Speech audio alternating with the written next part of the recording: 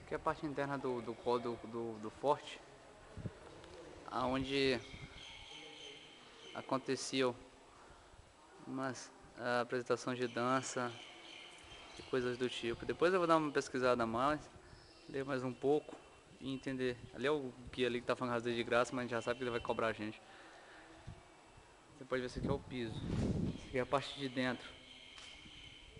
Aqui é uma coisa impressionante. Eu vou tentar fazer filmagens porque foto é meio complicado de guardar tudo.